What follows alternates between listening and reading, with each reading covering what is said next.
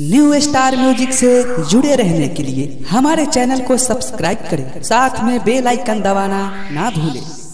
Recording studio new star music singer Vijay